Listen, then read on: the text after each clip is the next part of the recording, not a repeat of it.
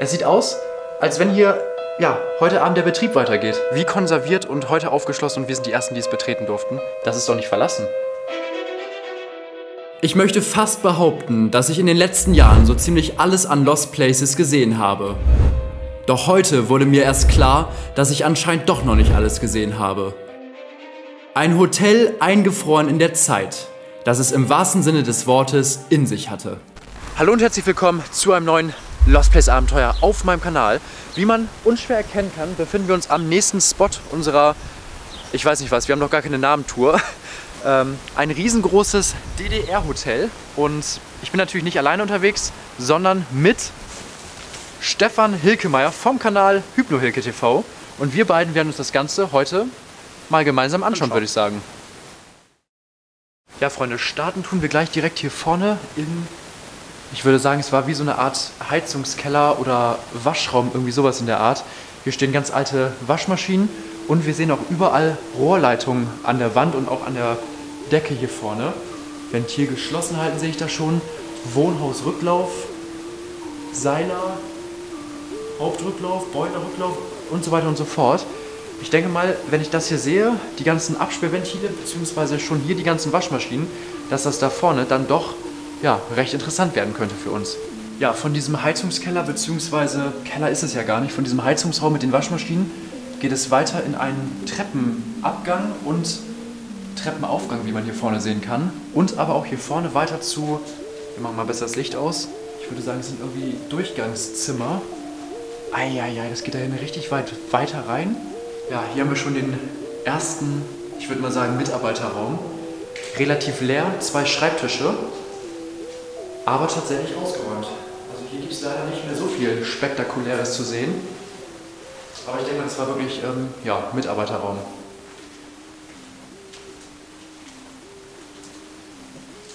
So, hier vorne geht es dann weiter. Es teilt sich hier so ein bisschen auf. Ich glaube, ich weiß, was unser Tippgeber uns gesagt hat. Und zwar soll es hier wohl so ziemlich verwinkelt sein und wir sollen die Augen aufhalten. Ich vermute mal, dass hier vorne die damalige Rezeption war viele Toiletten. Ich sage Rezeption, das sieht eher aus wie so ein Spiegel, der hier irgendwie an der Wand hängt. Oh, guckt euch das mal an. Das ist wirklich, ähm, ja, natürlicher Verfall, der so mit der Zeit natürlich dann auch irgendwann kommt, sage ich einfach mal ganz vorsichtig. Hier löst sich schon überall die Decke auf, der Putz bröckelt ab. Ich weiß nicht, ob das jetzt hier vorne schon das erste Gastzimmerchen ist oder ob das eher so eine Art Mitarbeiterraum damals war. Spinte, abgestellte Stühle, aber richtig schöner, natürlicher Verfall. Ja, wir können ja hier vorne einfach mal in die Toiletten reinschauen. Die sehen auch noch ziemlich gut aus, ne? Also kein Vandalismus oder dergleichen. Ich würde sagen, links war eben gerade der Raum mit den Stühlen. Und hier links, beziehungsweise hier geradeaus, eieiei. Wir kommen in einen ersten Saal, in ein erstes Gastzimmer wenn ich das hier vorne schon sehe, das sieht ja wirklich so aus wie eingefroren in der Zeit. Und wir sind die Ersten, die es jetzt nach langer Zeit nach der Schließung betreten. Das ist ja der Wahnsinn. Schaut euch das mal an. Das ist ja alles ja, im Originalzustand hier. Auf der rechten Seite Sitzecken, auf der linken Seite Sitzecken und dann hier vorne diese große rustikale Bar. Das ist ja der Wahnsinn. Das ist ja wirklich der Wahnsinn. Ich kann es. Ach du meine Güte. Guckt euch das mal an. Was ist das denn? Stefan, komm mal her hier. Ihr glaubt das gar nicht, beziehungsweise, was heißt, ihr glaubt das gar nicht? Ihr habt das ja eben gerade schon mit eigenen Augen gesehen. Das ist ein riesengroßer Saal für Veranstaltungen, für wahrscheinlich entspannte Abendveranstaltungen und so weiter und so fort. Wenn man wirklich mal den ganzen Vandalismus der hier wirklich wenig ist, außen vor lässt, dann muss ich wirklich sagen, ich bin, ich bin geflasht. Also schaut euch mal diese imposante Bühne an. Ich denke mal, dass da abends sicherlich irgendwelche Veranstaltungen drauf stattgefunden haben, wie zum Beispiel irgendwelche Bands, die hier gespielt haben, oder auch, dass einfach mal ein Klavier auf die Bühne gestellt wurde und dass dann ja, der Musik zugehört werden konnte. Also hier ist es wirklich so, als wenn ja, die Zeit eingefroren wäre. Sieht fast auch so ein bisschen aus wie so eine Art Hörsaal dahin mit diesem ähm, ja, vertäfelten Holz. Aber das hat auf jeden Fall was. Hier vorne ein Halter. Ich vermute mal, da waren irgendwelche, ja, vielleicht Boxen drauf. Oder vielleicht auch irgendwelche Lichter, die dann angeschaltet werden konnten für ein gemütliches Ambiente. Ich glaube, ich lag gar nicht so ganz schlecht, denn das sind die Boxen, die damals wahrscheinlich oben an diesem Halter dranhingen. Verschiedene Lautsprecher, hier auch noch irgendwie ja, Boxen, die aber leider schon geklaut worden sind, beziehungsweise ja, mittlerweile beschädigt sind. Aber lasst das mal auf euch wirken.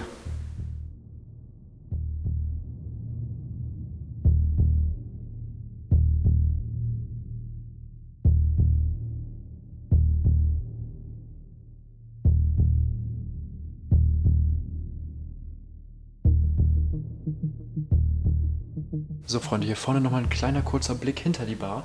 Überall uralte Kühlschränke, um irgendwie, ja, ich vermute mal Spirituosen und andere Getränke kühl zu lagern. Des Weiteren haben wir hier aber auch die ersten Preislisten. Und das sind natürlich logischerweise alles noch D-Mark-Preise. Bananensaft 0,2, 2 D-Mark 80. Das ist nicht wirklich viel im Vergleich zum Euro heute. Longdrinks 4 D-Mark 50, das ist ja nichts. Da bist du heute ja mindestens bei 8,50 Euro oder so. Und hier vorne stehen sogar noch die Gläser in der Vitrine, das ist ja der Wahnsinn. Als wenn das hier alles in der Zeit eingefroren wäre und wir jetzt wirklich nach Jahrzehnten das ganze Ding aufsuchen und äh, ja, dokumentieren. Habe ich selten gehabt, ehrlich gesagt. Hier vorne steht noch was dran von wegen äh, Single, Single Ball aber alles aus dem Jahre, haltet euch fest, 2000. 3.3.2000, 4.3.2000, 10.3.2000 und so weiter und so fort. Geht rein bis in den März. Also ist ja alles im März. Aber das ist krass. So, Freunde, und hinter der Bar geht es natürlich auch noch weiter. Weiter in einen Bereich, der normalerweise für Gäste bzw. Hotelgäste sicherlich nicht ersichtlich war. Und zwar kommen wir hier in Teile der Küche rein, so wie es aussieht. Davon haben wir einen riesen Kipper ich vermute mal, dass da Fett drin war. Das ist super eklig, wie es aussieht, aber ich denke mal, das ist normal nach der ganzen Zeit, dass das so dermaßen rostet alles. Hier vorne ist auch noch so ein Nebeneingang, vielleicht wirklich Mitarbeitereingang. Und ja, hier ist noch ein großes Waschbecken, beziehungsweise zwei große Waschbecken. Was mir hier leider auffällt, dass hier überall Porzellan auf dem Boden zerstört wurde. Aber hier steht es noch in Reih und Glied auf diesem, ja ich weiß nicht, was war das? Waren das irgendwelche Vorratsschränke oder irgendwelche Schränke, um irgendwas warm zu halten? Ich kann es euch ehrlich gesagt nicht sagen. Habe ich so noch nicht gesehen. Dann geht es von hier auf jeden Fall weiter. Einmal rechts in den großen Saal und hier vorne auch nochmal weiter, ich vermute mal, in weitere Bereiche der Küche. Oh, hier riecht das ganz merkwürdig. Oder war das vielleicht auch so eine Art Mitarbeiterraum? Speiseraum? Ach, guck mal, das könnte auch so eine Art Lagerraum für Speisen gewesen sein, die kühl und trocken gelagert werden mussten. Hier vorne haben wir noch einen Lastenaufzug. Ja, und hier könnte ich mir vorstellen, guck mal, das sieht so ein bisschen so aus wie so eine Art Büro. Rezeptfrei. Reiseclub.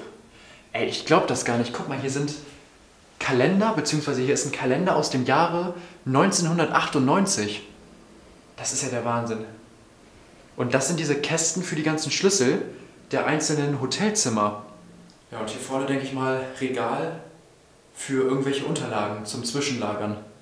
Da vorne geht es ja rein in den großen Saal und ich vermute mal, oder wir vermuten mal, dass man hier vorne dann, sieht zumindest fast danach aus, Bier gezapft werden konnte und man sich hier ein Bierchen abholen konnte und dann ganz entspannt hier vorne in den großen Saal laufen konnte. Oder vom großen Saal direkt ja, Richtung Hotelzimmer, so wie es hier aussieht.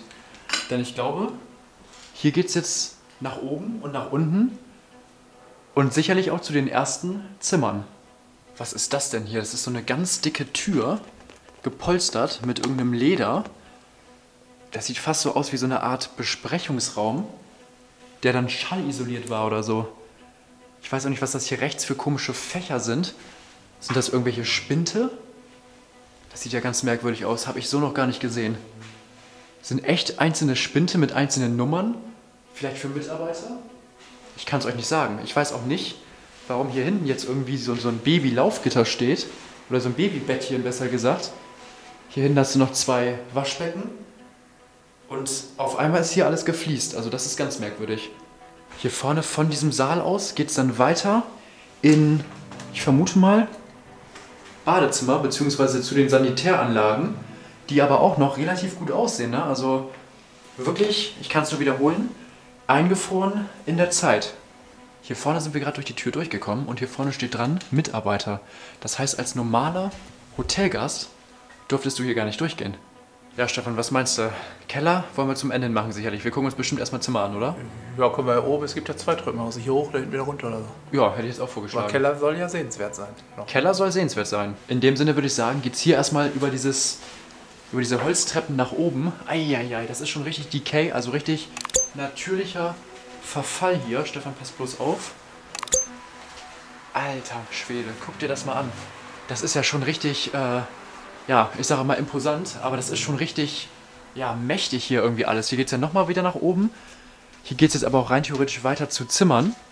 Zimmer Nummer 13, ich weiß nicht, Zimmer Nummer 11. Keine Ahnung, wie das hier aufgeteilt war. Ich denke mal, dass hier, so wie es hier aussieht, auf jeden Fall schon Jugendliche sich den einen oder anderen Abend mal hingesetzt haben. Oh, oh, das ist halt so richtig DDR mit den Badewannen hier, ne? Schaut euch das an. Hier vorne geht es dann zu Zimmern. Ich vermute mal, es sind diese Mehrbettzimmer. Aber so richtig einfach gehalten, ne? Überhaupt nicht zu vergleichen mit den Hotelzimmern von heute. Aber sieht verhältnismäßig noch echt richtig gut aus, ne? Also klar, die Tapeten lösen sich überall, aufgrund von Feuchtigkeit wahrscheinlich. Hier auf der linken Seite ist auch die ganze Wandtapete schon runtergekommen und hat sich hier so mehr oder weniger über das Bett eingedeckt. Ja, das ist der Wahnsinn. Das ist wirklich der Wahnsinn, wie natürlich der Verfall hier doch ist. Und so sah hier dann ein Badezimmer aus. Diese Badewanne überhaupt nicht verkleidet, aber ich glaube, das ist so dieser DDR-Stil, ne? Hier vorne auch Toilette, Rohrleitung auf der Wand verlegt und nicht in der Wand. Mit Toilettenspülkasten auch auf der Wand und nicht in der Wand.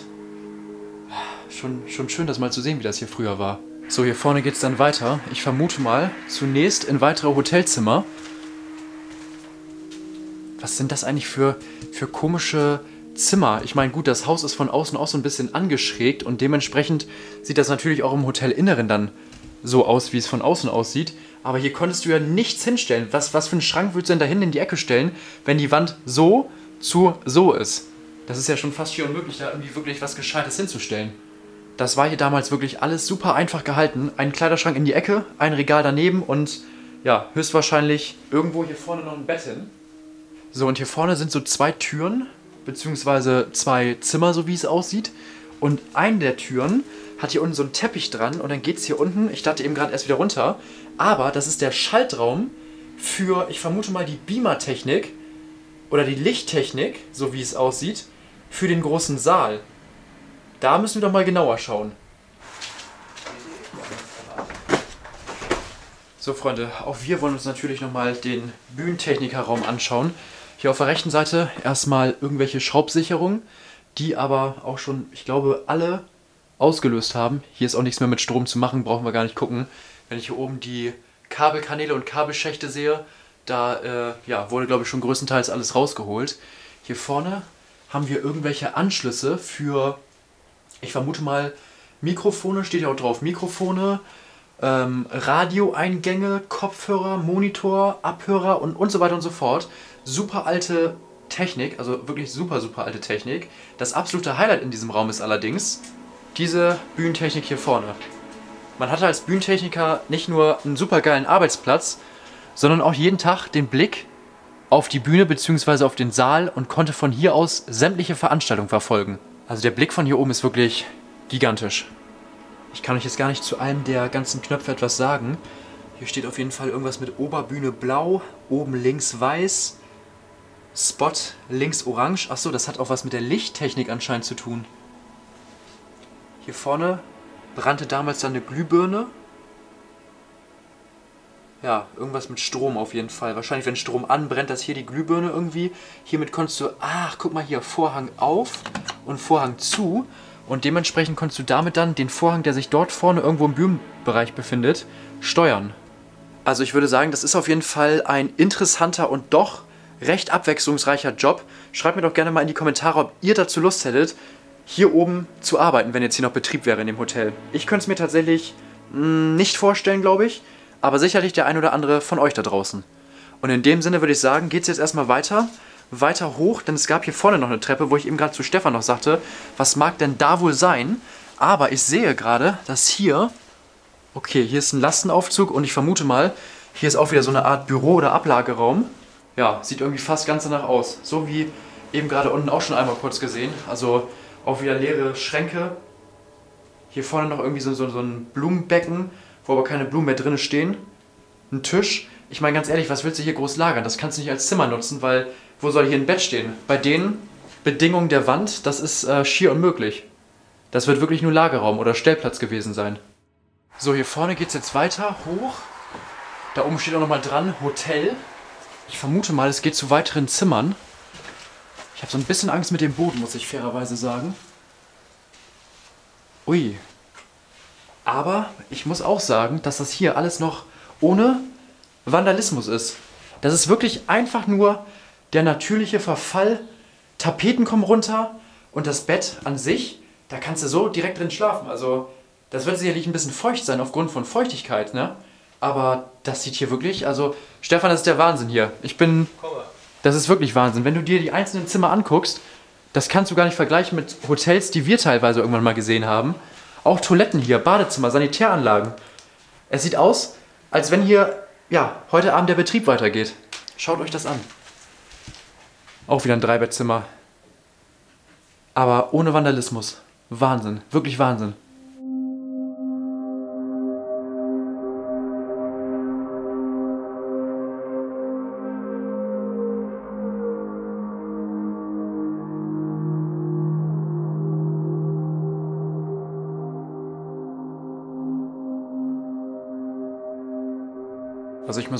Euch hier alle Zimmer zeigen muss oder sollte. Ich denke mal, die sind relativ gleich aufgebaut. Aber hier vorne, und das ist mir bei den anderen Zimmern eben gerade noch gar nicht aufgefallen, hier steht noch ein richtig schöner alter Rabatan oder Rabatran, Tron? Ne, Rabat, Robotron. Robotron RFT. Das war, glaube ich, Fernseher mit Radio, glaube ich sogar, oder? Ultra schön. Also, dass das hier noch so steht, das ist wirklich wie so ein wie so ein Museum hier eigentlich schon. Hier vorne Zimmer 4. Stefan hat es gerade schon gut zum Ausdruck gebracht. Ein etwas ja, gehobeneres Zimmer mit Badewanne. Toilette natürlich, Waschbecken auch logisch. Aber es gab separat ein kleines Wohnzimmer hier auf der linken Seite. Und auf der rechten Seite dann ebenfalls separat das Schlafzimmer. Und wenn ich das so sehe, kein Dreck auf dem Boden, Wände lösen sich nicht. Wenn ich das Bild irgendwann vorgehalten bekommen würde, würde ich sagen, ja, wieso? Das ist doch nicht verlassen. Also das ist der Wahnsinn, ist das. Ich will nicht sagen, ein Satz mit X, das war wohl nichts. Das war auf jeden Fall was. Allein das, was wir jetzt schon gesehen haben. Aber wir dachten, das war es jetzt schon mit den Hotelzimmern. Nur ganz ehrlich, das kann es eigentlich nicht sein. Es müssen irgendwo noch Hotelzimmer sein, weil ich habe teilweise gesehen, irgendwie 84 Zimmer. Lass es meinetwegen auch die Hälfte sein, aber ich kann mir nicht vorstellen, dass das alles an Zimmern gewesen ist. Es fängt ja auch mit Zimmer 11 und 13 an wo ist denn 1 und, und, und 2 und 3 und 4 und so, ne? Ihr wisst schon, wo soll das denn sein? Das muss ja alles irgendwie weiter unten sein, schätze ich mal. Oder wir gehen jetzt einfach mal runter in den Keller, Stefan. Vielleicht ist da auch noch wieder was. Man weiß es nicht, wie es damals war.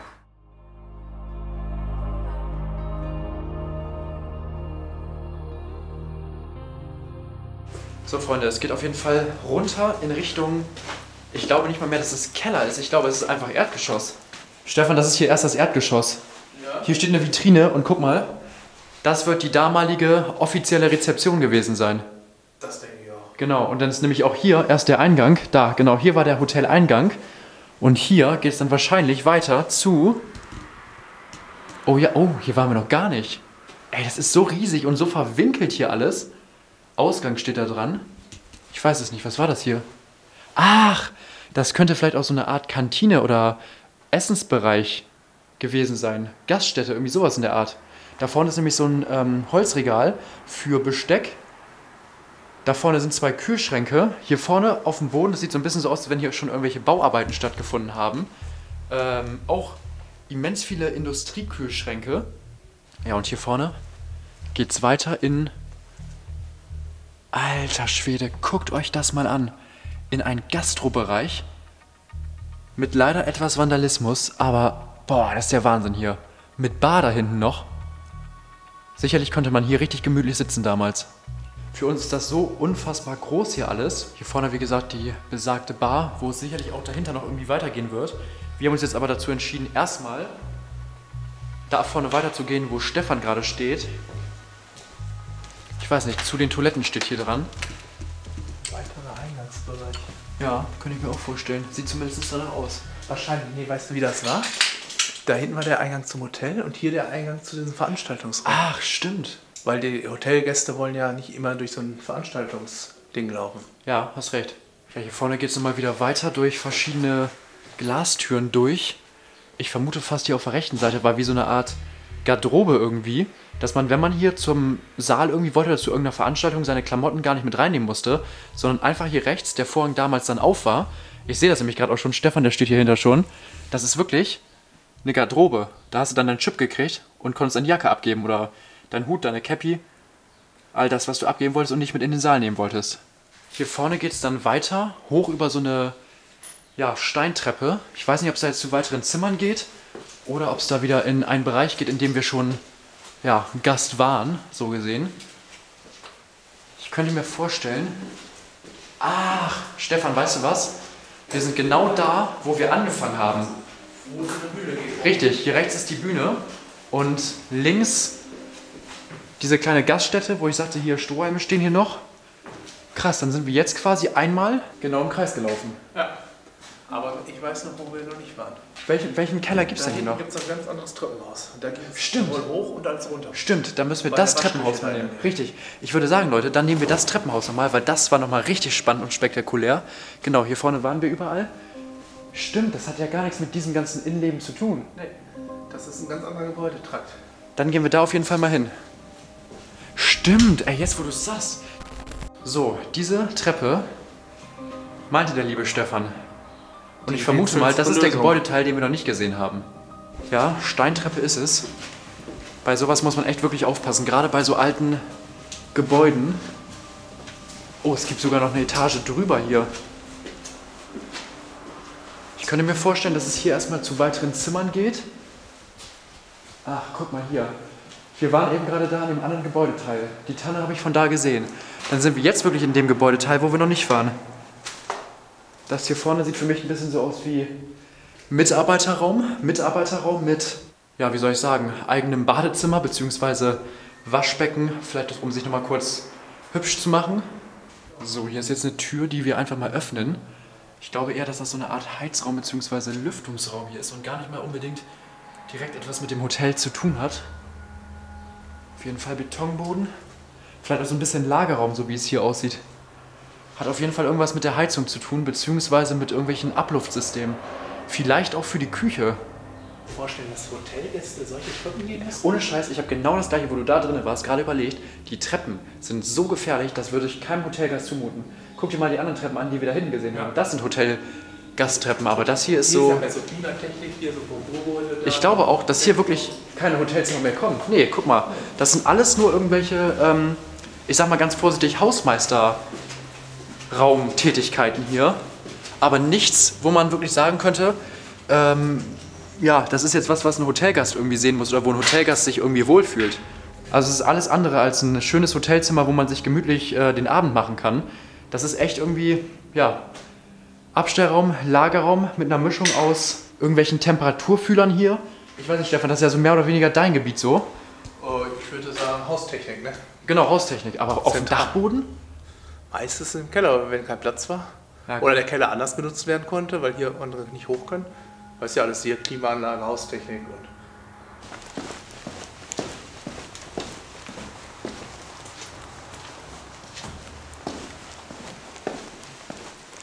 Dann würde ich sagen, Stefan, rein in den Keller, rein in die Dunkelheit. Ich bin mal gespannt, was uns da jetzt erwartet. Ich meine, man kann es ja fast schwer noch toppen eigentlich. Auf jeden Fall teilt sich hier der Weg auf, beziehungsweise der Flur geht einmal rechts weiter und einmal links weiter. Einmal Notausgang und wahrscheinlich einmal, genau, einmal Toilette, die aber auch noch relativ gut aussieht. So, und dann geht es hier vorne auch noch mal weiter. Da müssen wir jetzt mal gucken. Eieiei, ich glaube, das ist so der Hausanschlusskasten hier vorne. Schraubsicherung und ja, an der Tür fehlen aber auch schon sämtliche Teile. Das ist so f- voll gegammelt, dicht gegammelt mittlerweile alles. Aber dann doch in einem Zustand, dass man noch erkennt, um was es sich da überhaupt handelt. Ich weiß nicht, hier vorne sieht das so ein bisschen so aus wie bei einem Schwimmbad. Mit diesen Fliesen. Das ist aber nur so eine Art Hausmeisterraum. Hier vorne steht noch ein alter Boiler, ein Einkaufswagen mit irgendwelchen Lampenschirmen, ähm, alte Stühle und irgendwelche Gestelle hier auf der linken Seite. Also nichts wirklich so ultra spektakuläres. Hier vorne haben wir dann noch einen weiteren leeren Durchgangsraum. Und so wie es aussieht, Mitarbeiterduschen. Als ob das jetzt hier hinten noch weitergeht. Nee, hier ist eine Toilette, hier ist Ende. Hä? Wo ist denn die Küche? Das weiß ich nicht. Hatte ich jetzt hier erwartet. Habe ich jetzt auch hier erwartet, ehrlich gesagt. Aber dann, Wir haben noch mehr was gesehen, aber was? dann weißt du was? Hin, hinter der einen Bar, wo du sagst, wollen wir jetzt hier hintergehen, da ging es auch runter, glaube ich. Da habe ich nämlich einen Treppengeländer gesehen. Stimmt. Vielleicht ist da der, Keller. Der Keller von der anderen. Weil da war ja auch Gastwirtschaft. Ist natürlich auch super interessant, mal Kellerräume zu sehen, die man eigentlich nicht gesucht hat. Aber da sieht man wirklich mal, wie groß das hier alles ist. Verwinkelt ohne Ende. Also, wir haben ja schon den einen oder anderen Hinweis und haben trotzdem noch keinen richtigen Überblick. Also wir gucken jetzt gerade mal äh, nach dem Keller, den wir noch suchen und nach der Großküche. Aber hier scheint vom Flohmarkt, wie man sehen kann, äh, das hat hier fast einen Messi-Zustand angenommen. Hier stehen Koffer, hier stehen Kartons ohne Ende. Und ich weiß nicht, ob man da noch irgendwie anders hinkommt. Doch, man muss da anders hinkommen. Das ist ja nicht nur ein Weg, aber ich vermute mal, dahin geht's in den Keller. So, Freunde, ich glaube, wir haben unsere Küche gefunden. Zumindest den ersten Teil der Küche. Das ist eine Küche. Hier vorne sind die ganzen Zimmerbelegungen dran. Gelbe Karte, siehe Vortrag. Grüne Karte, Rechnung. Rote Karte, SZ, was auch mal SZ ist. Ist auf jeden Fall interessant. Hier haben sich schon einige Leute verewigt. Und hier stehen irgendwelche Tische und Stühle, die zusammengestellt sind aus dem Gastrobereich, vermute ich mal. Hier haben sie irgendwas dicht gemacht. Ach nee, guck mal hier. Das ist doch dieser typische Halter hier für die Mentos. Fresh goes better. Kennt man doch aus Tankstellen und Supermärkten. Und hier ist noch eine ganz alte F6 Lights Zigarettenpackung. Hier geht's überall noch weiter. Es ist so verwinkelt. Hier geht's irgendwie in Richtung Technikraum. Stefan erinnert mich so ein bisschen mit der Führung hier an das eine Hotel, wo du sagtest, du warst schon da und im Keller hast du das und das gesehen und wir müssen jetzt mal suchen. Kann ich hier leider nicht mit dienen. Hier war ich noch nicht. Aber das ist krass, wie, wie groß das hier alles ist. Also ich vermute mal, dass hier irgendwie größtenteils Sanitäranlagen sind, wie man hier rechts sehen kann. Ähm, ja, vielleicht auch noch irgendwie. Hä? Ach so, hier waren wir eben gerade, doch. Genau, jetzt sind wir wieder hier vorne. Das heißt, es ist alles miteinander verbunden. Davon habe ich eben gerade hier den, den Mitarbeiterplan vorgelesen. Und hier. Ja, okay, hier sind wir reingekommen. Dann haben wir jetzt quasi wieder so einen Rundkurs gemacht. Das sieht ja aus wie Gefängnis hier. Aber echt, was ist denn das noch groß nach hier hinten? Hier sind wahrscheinlich noch irgendwelche Kühlungen. Können wir mal als erstes einen Blick hinwerfen. Eieiei. Hast du schon mal so viele Froster auf einem Haufen gesehen, Stefan? Ey, das ist ja der Wahnsinn. Und hier dann wahrscheinlich die dicke, fette, wobei so dick und fett ist sie gar nicht, Kühlkammer. So, und hier vorne gelangen wir jetzt in die Großküche. Da bräuchten wir jetzt irgendwie jemanden, der davon Ahnung hat. Hier rechts sind irgendwelche, Ga also ein Gasherd, zwei Gasherde. Gasherde, Gasherz. Korrigiert mich gerne in den Kommentaren. Und hier sind Kochfelder, also Platten, die warm werden. Des Weiteren sind hier noch zwei Fritteusen, die aber richtig übelst abartig aussehen. Also da ist nicht mehr gut Kirschenessen mit, beziehungsweise eher Pommes essen. Da sind sogar noch Pommesreste unten drin. Das sieht einfach nur super eklig aus. Und ich kann nur hoffen, dass da, wo ich Pommes esse, es da in der Küche nicht so aussieht.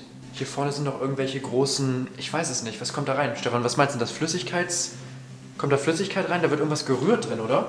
Oder irgendwas warm gehalten. Das ist ein Riesentopf, glaube ich. Suppe, Gulasch oder sowas. Ja, genau, Kann irgendwas- man es ablassen dann? Stimmt. Oh, guckt euch das mal an. Stefan hat recht. Hier unten kannst du es ablassen.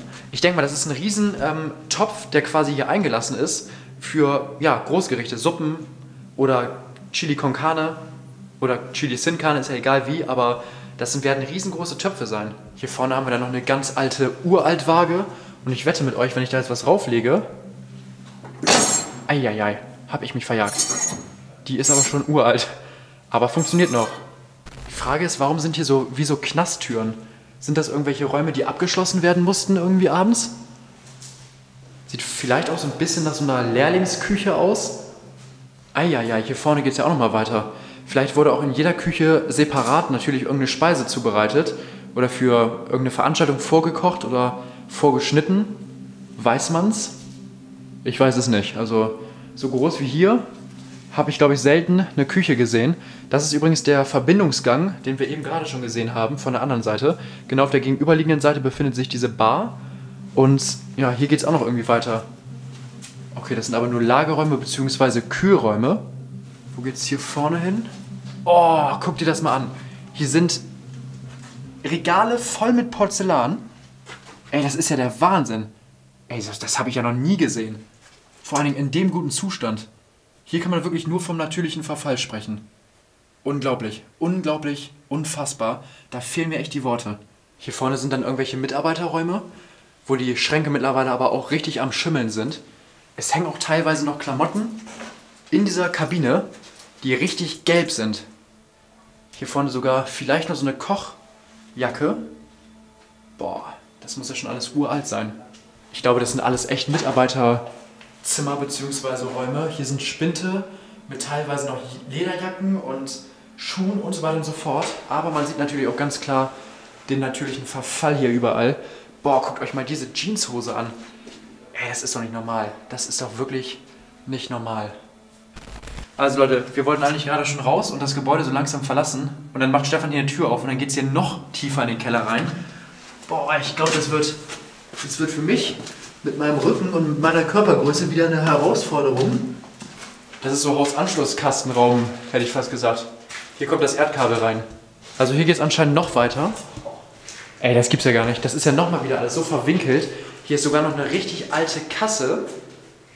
Ey, das ist ja. Und hier, das ist ja. Guck mal, hier geht's weiter. Dann geht's hier rechts weiter. Oh, das. Nee, oder? Guck mal. Also so einen brachialen Keller habe ich echt selten gesehen. Ich glaube, diese ganze Hotelanlage ist komplett Urino unterkellert. Stefan wird recht haben, das Ding ist nicht miteinander verbunden. Hier ist eine Tür, die komplett zugerostet ist, also die kriegen wir schon gar nicht mehr auf. So Freunde, da wo das Video angefangen hat, da soll das Video nun auch wieder enden mit dem letzten Prozent Akku. Ich hoffe, es hat euch gefallen. War ein super interessantes Hotel. Hat mir sehr viel Spaß gemacht, es zu erkunden. Ich hoffe mal, dir hat es auch Spaß gemacht. Also von außen sieht es wirklich super ranzig aus, aber hier drin eine wahre Zeitkapsel, eine Perle, wenn man so möchte. Wie konserviert und heute aufgeschlossen und wir sind die Ersten, die es betreten durften.